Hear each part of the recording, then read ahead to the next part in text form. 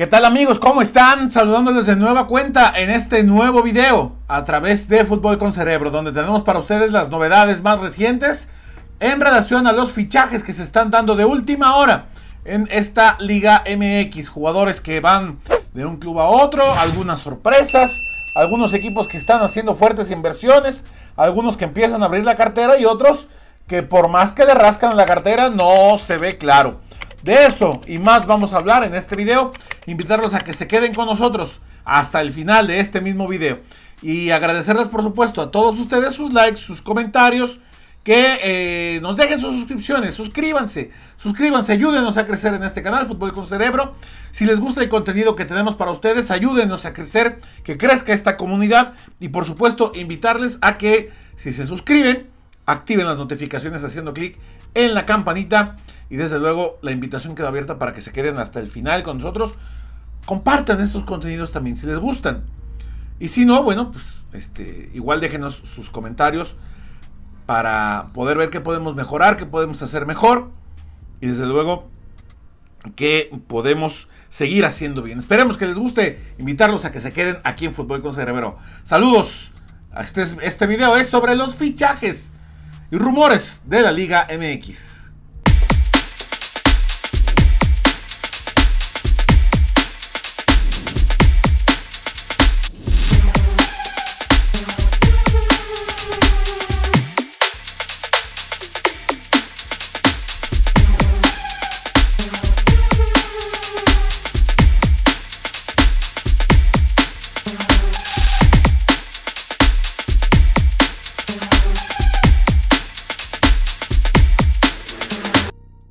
El, tema que sigue siendo hasta la fecha cuestión de debate, cuestión de polémica, cuestión de incertidumbre, ¿qué va a pasar? Rodolfo Pizarro, como ya lo sabemos y lo habíamos platicado en este video que les dejamos aquí, desde el pasado fin de semana, se ofreció con la directiva de Chivas. El tema está de la siguiente manera, como ya lo habíamos platicado. Rodolfo Pizarro está dispuesto a conseguir por parte de su club actual, el cuadro del Inter de Miami, eh, que lo presten gratis, gratis. No hay que ir a pagarle al club nada, nada de eso. Solamente hay que pagarle el sueldo a Rodolfo. ¿Cuánto cobra? Ahí está el problema. Como dijeron en el pueblo, ahí es donde la puerca tuerce el rabo. 3 millones de dólares es lo que cobra Rodolfo Pizarro, algo que es difícil que hoy por la situación económica que está atravesando nuestro país, en general México, el mundo, el fútbol a nivel global, algún club pueda pagar al menos en la Liga MX. Yo lo veo complicado, pero no imposible. igual, inclusive puede darse, pero no, no, no hay. El augurio no es positivo.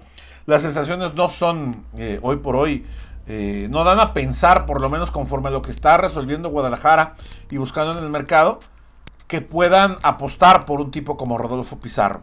Por más que le rascan en la cartera, por más que le buscan, por más que tratan de, de llegar a la cifra, es, muy complicado para Chivas. E inclusive se ha hablado de que Rayados estaría dispuesto a cubrir ese, ese sueldo.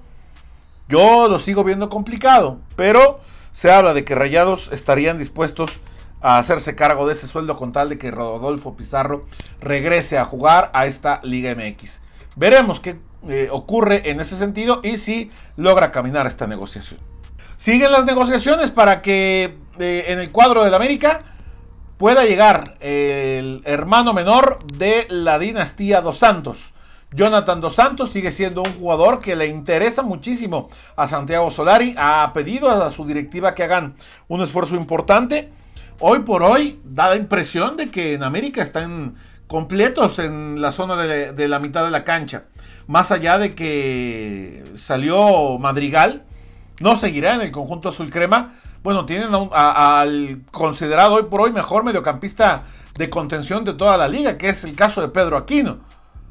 Aunque también habrá que recordar que este futbolista estará seguramente eh, siendo convocado de manera frecuente por la selección de Perú y por eso seguramente necesitarían un elemento importante en esa zona de la mitad de la cancha. No olvidemos que también para el propio Jonathan Dos Santos será importante llegar a un equipo élite de la Liga MX para estar en la mira del técnico nacional. Gerardo Martino seguramente todavía lo tendrá en cuenta como una de las tantas opciones que hay para pensar en la mitad de la cancha de cara a la Copa Mundial de Qatar 2022.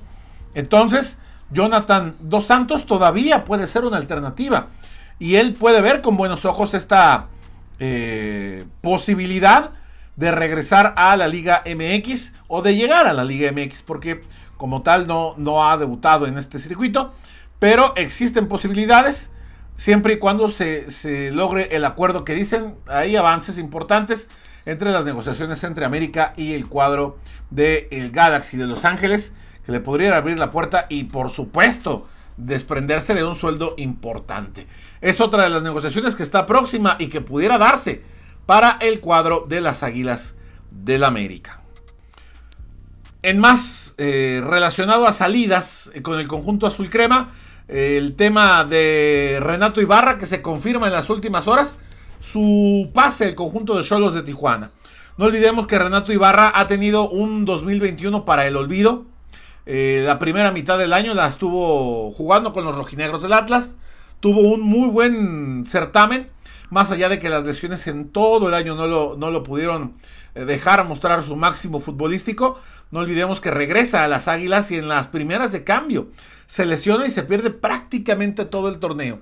Ahora que ya está de regreso, está prácticamente resuelto, casi casi arreglado, a poco de que se haga oficial su pase al conjunto de los solos de Tijuana, que seguramente hará una apuesta importante en la parte económica por llevar a un jugador que puede marcar diferencia, que tiene mucha capacidad y que tiene calidad en la generación ofensiva.